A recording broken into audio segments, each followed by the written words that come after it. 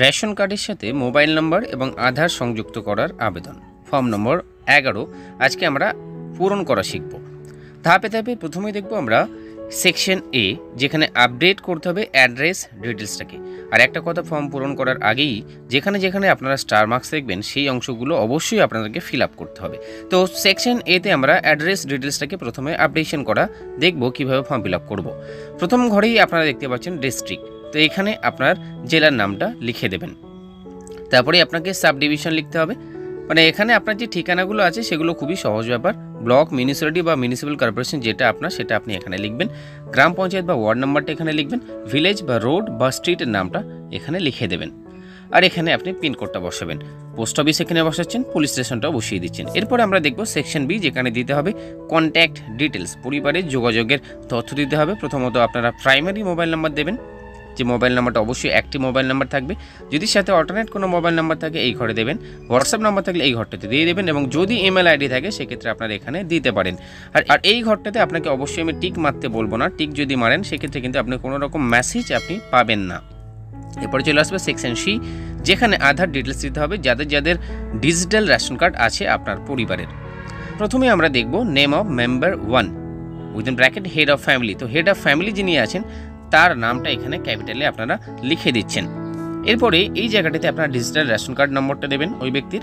এখানে আপনারা A A Y P H H S P double H এভাবে আপনারা বিভিন্ন রকম ডিজিটাল রেশন কার্ডের ক্যাটাগরি দেখতে পাচ্ছেন। তো আপনার যে ক্যাটাগরির রেশন কার্ড আপনারা সেই ক্যাটাগরির পাশের যে ফাঁকা ঘর, সেইখানেই আপনারা টিক মার্ক দেবেন।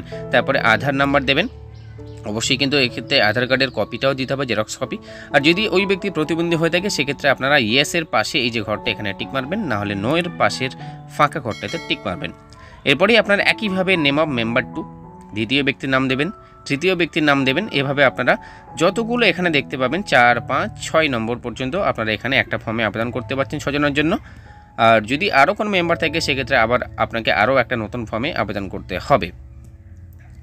এরপরে আমরা দেখব এই ঘরটাতে এখানে আই এগ্রি এর আগের ঘরটাতে আপনাকে এখানে টিক মারতে হবে। এখানে আপনি কোনো একজন আবেদনকারীর যে কজনের আপনারা তথ্য দিচ্ছেন, তার একজনের সই করে দেবেন অথবা সই না করতে পারলে বাম হাতের বুড়ো আঙুলের ছাপ দিয়ে দেবেন, টিপ সই।